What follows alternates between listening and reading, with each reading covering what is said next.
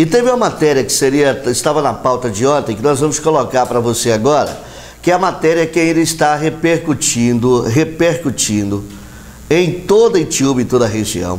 Vai sair a nível nacional, matéria que vai estar em breves dias é, nas TVs em todo o Brasil. E, o, e a Bonfinil saiu na frente. É mais um aqui com exclusividade.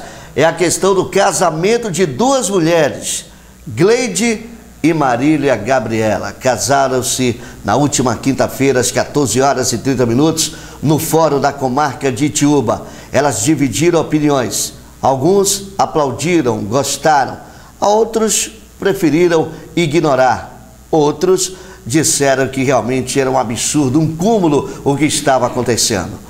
Elas são moradoras do interior do município, Rômulo Campos, Camadaroba, onde após o casamento foi servido um suculento churrasco para todos os presentes. E você vai ver agora as imagens do momento em que elas eram consideradas oficialmente casadas, da união estável, né?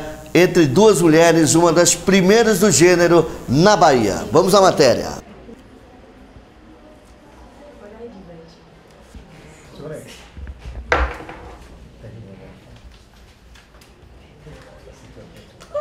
Não, não é beijo, não. Você não beijo, não.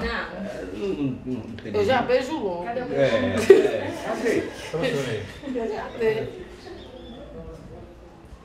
Aí. Eu já posso?